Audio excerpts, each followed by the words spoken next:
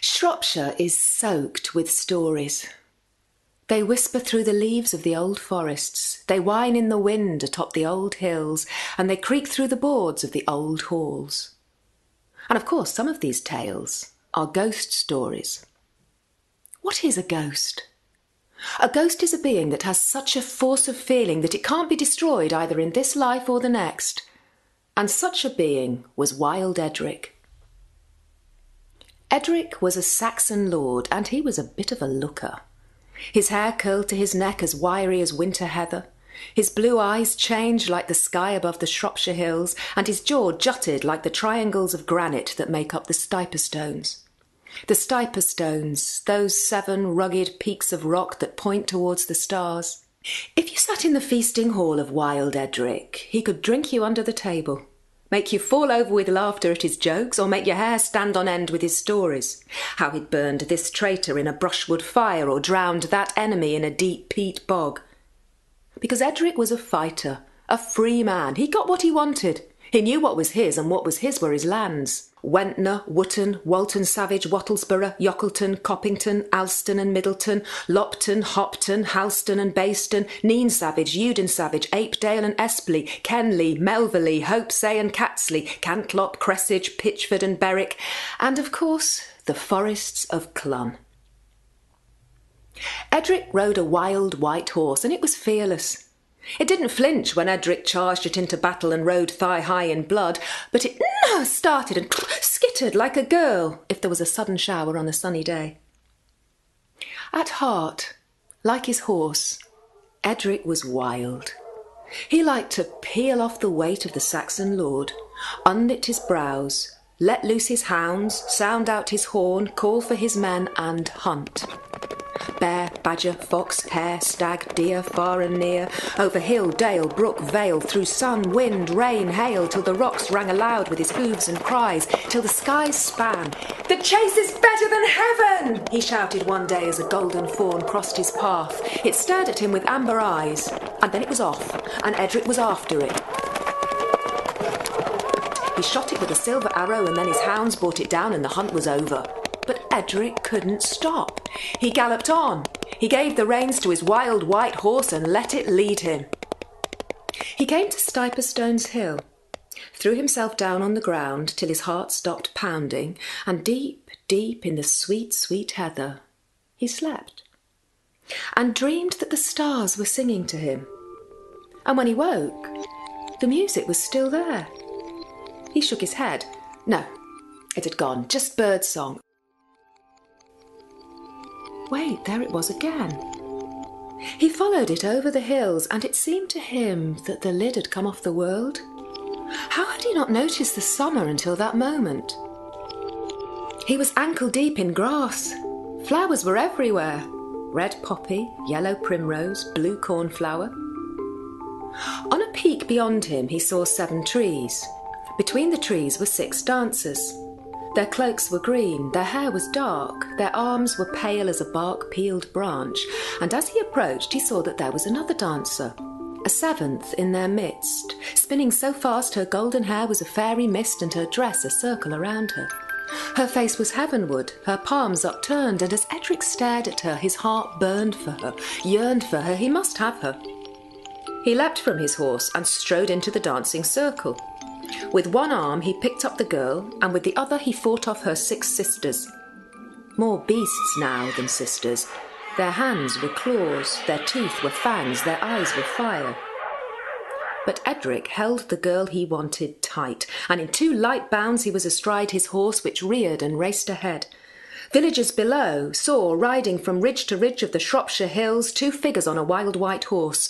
One a woman, soft, with long yellow hair flowing, the other a man, with back as firm as iron, and a jaw that jutted like rock. He carried her over the threshold of his hall and carefully set her on a chair.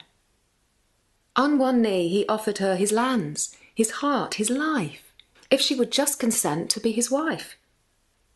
But she just stared at him her eyes were wide, her mouth opening and shutting like a wet fish on a dry rock. For three days she didn't eat or speak. In the feasting hall she didn't smile at his jokes or flinch at his stories. but on the third night she spoke. I am Goda.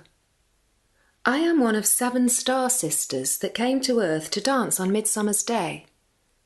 You are Edric, straight and true, and I will marry you on one condition that you never mention my dancing sisters from whom I'm now separated. If you do, I'll disappear forever. Edric swore by his wild white horse he would never mention her dancing, never mention her sisters.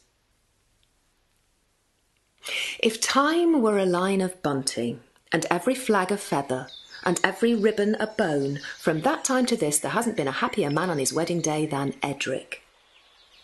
He was over the moon. He was inside out. Not a shred of doubt, not an ounce of fear. He kept her near as his breath for minutes that seemed hours, hours that seemed days, days that seemed years. It was an eternal summer. Kings longed for their company, because to look into the eyes of Goda was to feel the sun on your face. To hear the laugh of Edric was to feel the force of the storm, so charged was he with love for her. But when the leaves were turning, he woke, and she wasn't there. He missed her. The first hour he shrugged it off. The second hour he split wood. The third hour he paced up and down. The fourth he called for his servants, saddled his horse, and went to search for her. The fifth hour he was frantic, breaking through branch and bracken, his horse digging up the earth with its thundering hoofs. When he finally came back to his hall, jaw set, hair matted with sweat, hooves wet with mud, she was there, by the fire. Where have you been? She stood up, arms wide. I'm here now, she said. He knocked her back on the chair. Feathers and petals flew from her pockets. He covered his face. I suppose you've been dancing with those sisters of yours. When he took his hands away from his face, she wasn't there.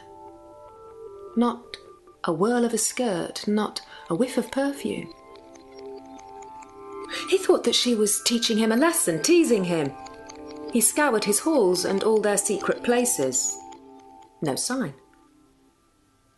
When he realized she was gone forever, such a cold loneliness and longing blasted through him that he couldn't bear it.